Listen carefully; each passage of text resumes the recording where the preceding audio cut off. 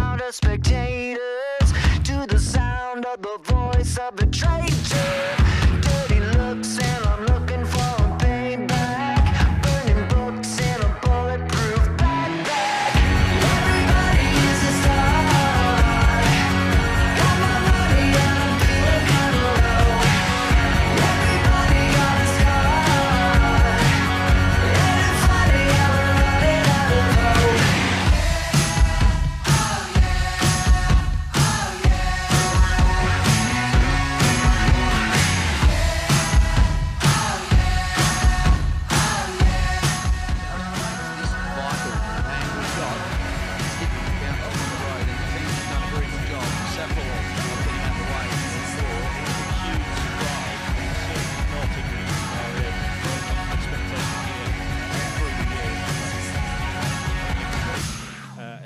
to be mindful.